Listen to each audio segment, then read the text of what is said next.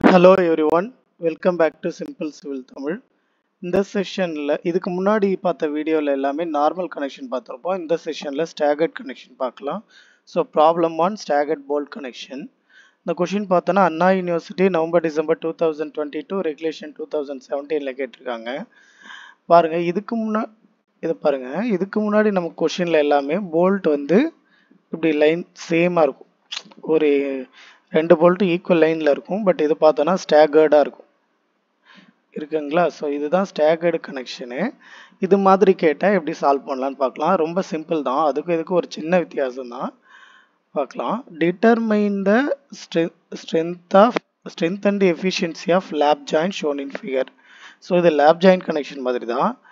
The bolts are twenty mm diameter bolt and grade four point six two plates to be joints are 10 mm and 12 mm. Steel grade is fe 410 so first stepல இதில் என்ன கேட்டிருக்காங்கன்னா strength and efficiency கண்டுபிடிக்க சொல்லியிருக்காங்க. Lap joint connection twenty mm bolt use பண்ணியிருக்காங்க. Grade four point six two plates ஒன்று ten mm இன்னொன்று twelve mm FE four டென்னு so இதை வச்சு கிவன் டேட்டா எடுத்துக்கலாம். Diameter of the bolt twenty mm அப்போ d naught twenty two mm grade four point six bolt சொல்லியிருக்காங்க. So FUB four hundred FYB two forty thickness of plate ஒரு thickness ten mm இன்னொரு thickness twelve mm so நம்ம இதை தான் டிசைனுக்கு use பண்ணுவோம். அடுத்து FE four ten grade steel கொடுத்துருக்காங்க. எஃப்யூ அப்போது எஃப்யூவோட வேல்யூ ஃபோர் டென் எஃப்ஒய்யோட வேல்யூ டூ ஃபிஃப்டி ரைட்டா ஸோ டிசைன் பார்க்கலாம். இப்போ இந்த கொஷினில் பிட்ச் டிஸ்டன்ஸ் எண்டு டிஸ்டன்ஸ் கொடுக்கல. நமக்கு மினிமம் பிட்ச் அண்ட் எண்டு தெரியும். நம்ம எப்பயுமே சிக்ஸ்டி ஃபார்ட்டின்னு அசியூம் பண்ணிக்கும் நான் என்ன பண்ணிக்கிறேன்னா இந்த கொஷினில் ஃபிஃப்டி கொடுத்துருக்கிறதால ஃபிஃப்டியே எடுத்துக்கிறேன். ஓகேங்களா அடுத்து இது எண்டு டிஸ்டன்ஸ் கொடுக்கலைங்க அதனால் நான் என்ன பண்ணிக்கிறேன்? ஃபார்ட்டி எம்எம் அப்படின்னு கொடுத்துக்கிறேன். இஃப் இன் கேஸ் இங்கே லோடு இப்படி ஆக்ட் ஆச்சுன்னா இது பிச்சு டிஸ்டன்ஸு இதையும் ஃபிஃப்டி எடுத்துக்கும் ஃபார்ட்டி எடுத்துக்கும் ஃபார்ட்டி எடுத்துக்கும் ஓகேங்களா ஸோ ஆக்சுவலி இந்த கொஷினுக்கு பிட்ச்சு ஃபிஃப்டீன் எடுத்திருக்கேன் எண்டு ஃபார்ட்டின்னு எடுத்திருக்கேன். ரைட் நெக்ஸ்ட் இப்போ shear strength of bolt per pitch லென்த்துக்கு தான் எடுக்கணும். ஓகேங்களா இப்போ ஷியர் கெப்பாசிட்டி ஆஃப் போல்ட் எவ்வளோ இருக்குன்னு பாருங்கள் IS eight hundred two thousand செவனில் பேஜ் நம்பர் செவன்ட்டி ஃபைவ்ல கிளாஸ் நம்பர் டென் பாயிண்ட் த்ரீல இருக்குது VDSB equal to VN VNSB divided by gamma MB so இப்போ ஐஎஸ் எயிட் ஹண்ட்ரட் எடுத்துக்கலாம். பேஜ் நம்பர் இது செவன்ட்டி ஃபோரு அப்போ கீழே இருக்கும். செவன்ட்டி ஃபைவ் அதில் பாருங்கள் shear capacity of bolt shear capacity of bolt கொடுத்துருக்காங்க. Formula VDSB equal to VNSB VAT விஎன்எஸ்பிக்கு formula FUB divide by root three N base N A base NB N base S A base SB அதில் எஃப்யூக்கு பதில் FUB use பண்ணணும் because FU equal to ultimate tensile strength of a bolt ஓகேங்களா so இந்த ஃபார்முலாவை just எடுத்து எழுதிக்கிறேன். இதில் F யூபியோட value four hundred root three அப்படி எழுதிக்கிறேன். என் பேஸ் என்னோட வேல்யூ ஒன்று A base என்பியோட value zero point seven eight times of five by four d square டியோட value twenty substitute பண்ணிக்கிறேன்.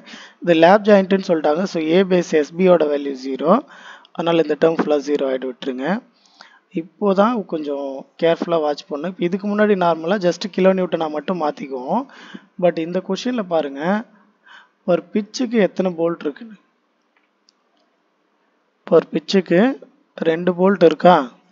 ஸோ என்ன பண்ணால் போல்ட்டு ரெண்டு போல்ட்டு கண்டுபிடிக்கணும். ஓகேங்களா ஸோ இந்த வேல்யூலாம் சப்ஸ்டியூட் பண்ணிட்டு கிலோ நியூட்டனாக மாற்றுறதுக்கு ten power minus three into two போட்டுக்கணும். டூ போல்ஸ் பர் பிச்சுன்னு அர்த்தம். ரைட் ஸோ நமக்கு போட்டோன்னா விடிஎஸ்பியோட value ninety point five four வந்து கிடைக்குது. ஓகேங்களா இது ஒரு வேல்யூ வச்சுக்கிறோம். அடுத்து bearing capacity of bolt bearing capacity of bolt பார்த்தோன்னா VDPB equal to VNPB by gamma MB விஎன்பிபிக்கான formula two point five KB DT FU by gamma MB அப்படி வச்சுக்கிறோம். இந்த formula IS eight hundred same பேஜ்லேயே இதுக்கு முன்னாடி shear capacity இருக்கிற page seventy ஃபைவ்ல இருக்குது clause number ten point three point four so clause number ten point three point four ஷே bearing capacity of bolt அதுக்கு ஃபார்முலா இருக்குது அதில் விஎன்பிபிக்கு two point five KB DT கொடுத்துருக்காங்க. டிடிஎஃப்யூன்னு அதில் கேபி கண்டுபிடிக்கிறது smaller of e by three d naught p by three d naught minus zero point five FUB by FU ஒன்று இந்த நாலு வேல்யூவில் எது ஸ்மாலராக இருக்கோ அதை தான் எடுத்துக்கணும். அப்போ பார்க்குறோம் e by three d naught இயோட value forty substitute பண்ணால் zero point six nought six கிடைக்குது. பியோட வேல்யூ ஃபிஃப்டி சப்ஸ்டியூட் பண்ணால் ஜீரோ பாயிண்ட் ஃபைவ் ஜீரோ கிடைக்குது. நெக்ஸ்ட் எஃப்யூபியோட வேல்யூ ஃபோர் ஹண்ட்ரடு எஃப்யூவோட value four ten zero point nine seven six and ஒன்று இந்த நாலு வேல்யூவில் எது சின்னதாக இருக்குன்னு பார்த்தோன்னா ஜீரோ பாயிண்ட் ஃபைவ் ஜீரோ தான். அதை கேபி எடுத்துக்கிறேன். இப்போ இதை சப்ஸ்டியூட் பண்ணலாம்.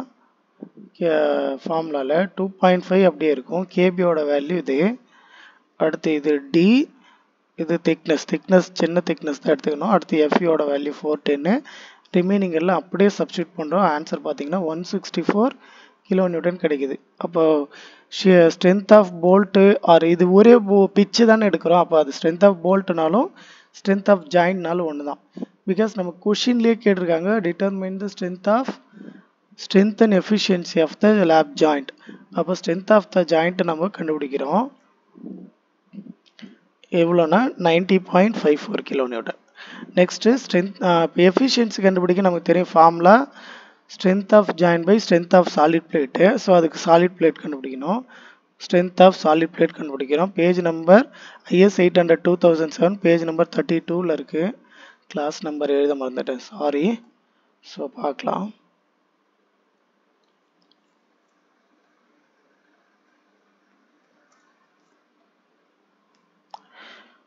இதுதான் strength of solid plate clause number six point two TDG equal to AGFI by gamma M naught so இது கிளாஸ் நம்பர் சிக்ஸ் பாயிண்ட் டூவை எழுதிக்கலாம் இங்கே. மறந்துடாதீங்க. நீங்களும் நோட் பண்ணி வச்சுக்கோங்க. ஸோ ஏஜியோட வேல்யூ நார்மலாக பிரெத்தின் ஃபார்மில் எழுதிட்டு ஏஜியோட value gross area breadth into திக்னஸ்னு சொல்லுவோம்.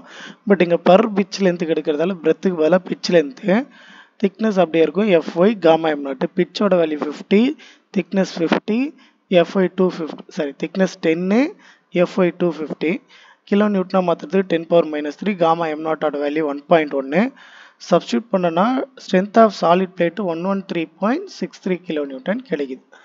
ஓகேங்களா?